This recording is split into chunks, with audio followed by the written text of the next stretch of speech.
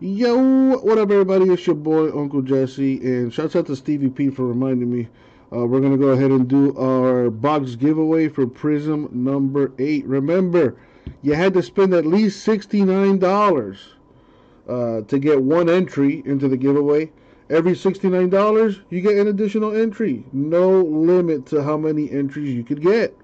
Uh, with that being said, however, if you use break credit, that does not count towards the total. So let's say you spent $69, but 10 of those dollars were break credit.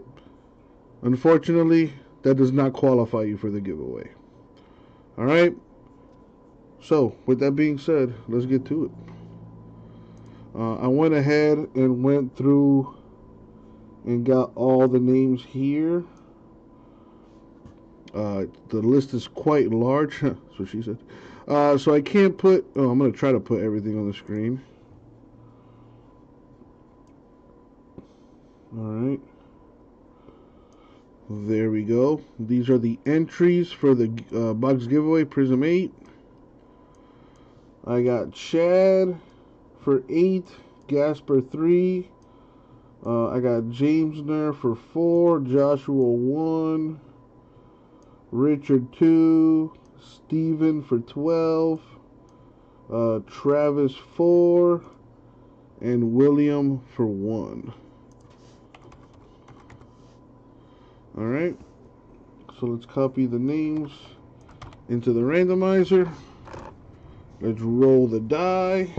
I'm going to go seven times in the random. Seven times in the random.